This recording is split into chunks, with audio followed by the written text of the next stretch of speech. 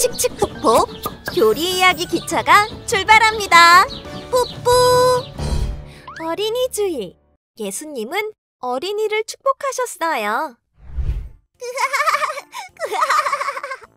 예수님 곁에 아이들이 모여 있어요. 어린 아이들이 내게 오는 것을 막지 말아라. 하나님의 나라가 이런 자의 것이다. 예수님이 어린이를 사랑하시고 축복하세요. 예수님께 가까이 갈 어린이 누구인가요? 저요, 저요. 아장, 아장, 예수님께 나아가요. 성큼성큼 예수님께 달려가요.